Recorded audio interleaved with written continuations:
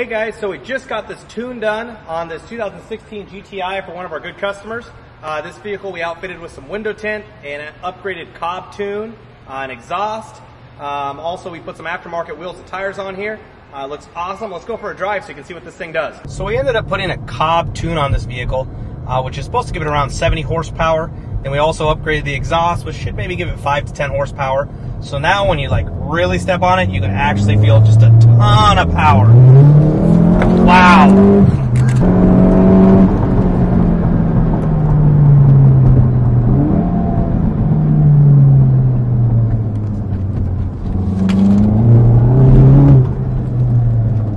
power band on this GTI is noticeably different um, and noticeably longer, so you really feel the power through all the gears.